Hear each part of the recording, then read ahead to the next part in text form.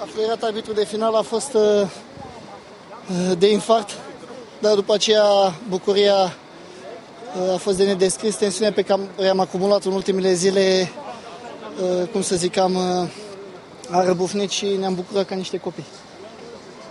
Uh, sper, să, sper să reușim să, să ne calificăm mai departe, dacă nu, cred că am reușit o performanță la care mu- nu mulți visau, dar puțini îndrăzneau să, să creadă și să ne dea vreo șansă.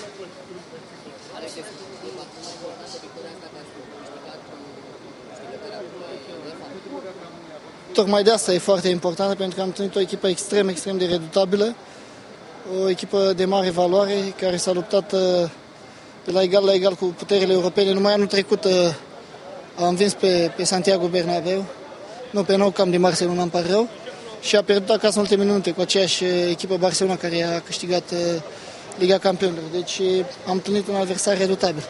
Suntem cu atât mai fericiți că am reușit să eliminăm. Următorul meci o să-l ratezi. Îți pare rău?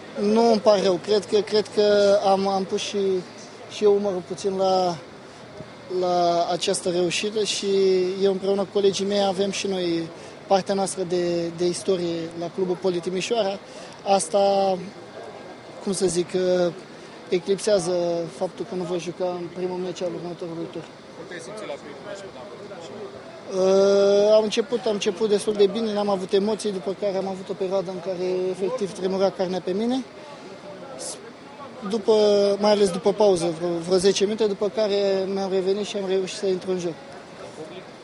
Publicul a fost, a fost senzațional și, ce să zic, ne-a portat pe brațe, mai ales în ultimele minute în care am fost dominat și ei au avut câteva lovituri libere foarte periculoase. Și eu